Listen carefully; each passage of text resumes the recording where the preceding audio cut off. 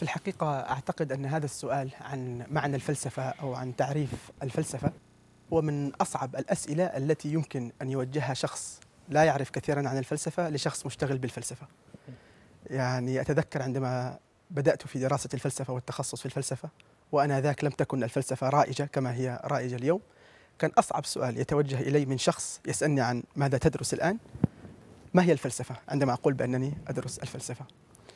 وكما لا يخفى أيضا من الصعوبات يعني في تعريف وتحديد هذا المفهوم هو كون تعريفات الفلسفة بعدد الفلاسفة أنفسهم. وفي كثير من الأحيان التعريف يعكس تعريف الفلسفة أو تعريف فيلسوف ما للفلسفة يعكس توجه هذا الفيلسوف اعتقاد هذا الفيلسوف نظرته الكونية. ما يعتقد بأنه مهم وما يعتقد بأنه ليس مهما. كذلك يعكس في كثير من الأحيان اهتمامات عصر من العصور.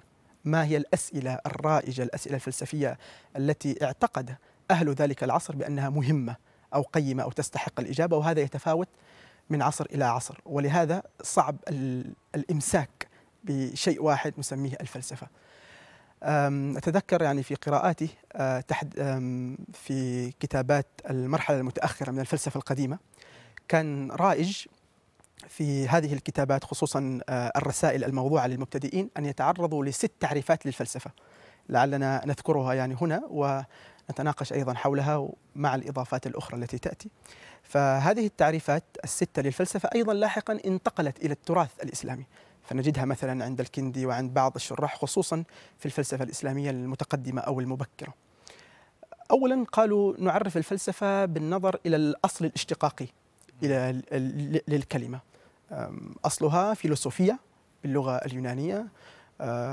φιλόσοφος هو الفيلسوف φιλοσοφικός النعت والصفة لما هو فلسفي. φιλοσοφείν هو المصدر الذي يشتق منه الفعل φιλοσοφείν بمعنى التفلسف. فكل هذه الألفاظ وكل هذه الكلمات مركبة من مقطعين أساسيين.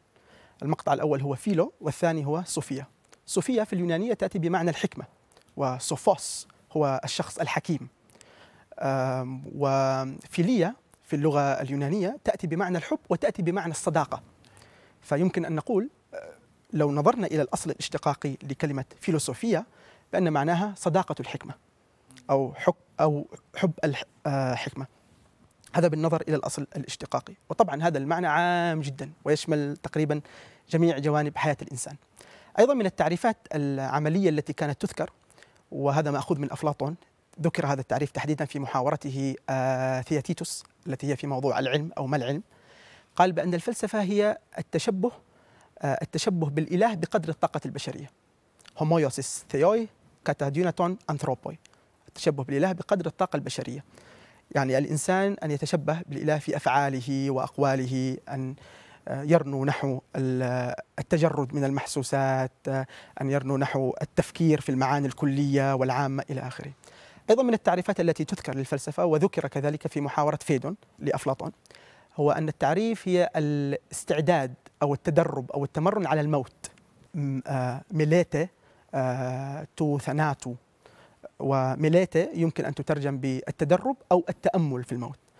لذلك شيشرون في كتابه النقاشات التسكولانية عندما نقل هذا التعبير إلى اللاتينية قال meditatio mortis يعني التأمل meditatio في الموت. بأي معنى؟ أيضا لأن الإنسان يترك العالم المحسوس اللذات الحسية ويشتغل بالأفكار الكبرى والمعاني الكلية. وهذا طبعا يعكس وجهة نظر أفلاطون مثلا حول الفلسفة أو ما يجب أو ما ينبغي أن يكون عليه الفيلسوف ذلك المتأمل في المثل في الأفكار الأبدية الخالدة. أيضا من التعريفات التي تذكر في هذه المقدمات هو تعريف الفلسفة بأنها آه، معرفة الوجود بما هو موجود أو من حيث هو موجود. أيضا من التعريفات التي تذكر آه، هي أن الفلسفة هي علم العلوم وفن الفنون.